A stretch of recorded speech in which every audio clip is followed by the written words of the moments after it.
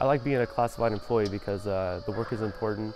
Um, you know, you, you deal with uh, a lot of departments, um, uh, departments that are really making a difference in the lives of a child at the home, in the classroom. Um, you know, you're supporting the teachers who are making this even possible.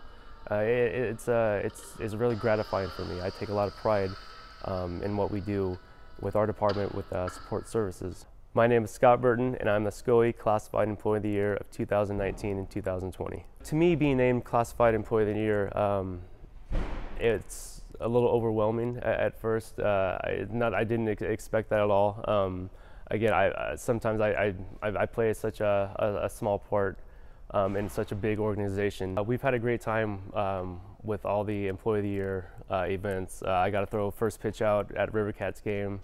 Um, and my boy was there to see it, which I never thought I'd be able to throw a first pitch or get the opportunity to throw a first pitch. Um, and it, it, was great.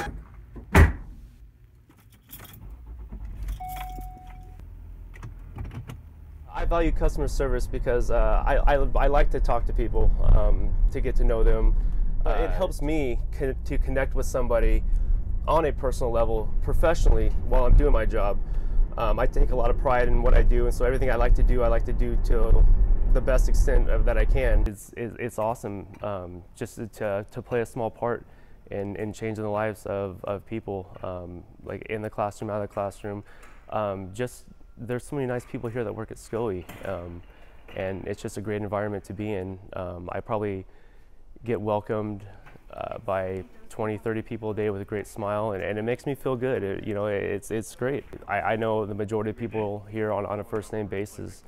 Um, and it's just it's nice it's a welcoming environment you step in any department you're always greeted with a smile it's it's really gratifying to me and it's make it, it made me realize that you know hey like the hard work and the and the time you put into you know developing relationships is paying off SCOE is very genuine uh, the people you meet here are they're very nice people. Um, they're people that want to make a difference. They're people that have made a difference. They're and they're people that are, are supporting other people making a difference.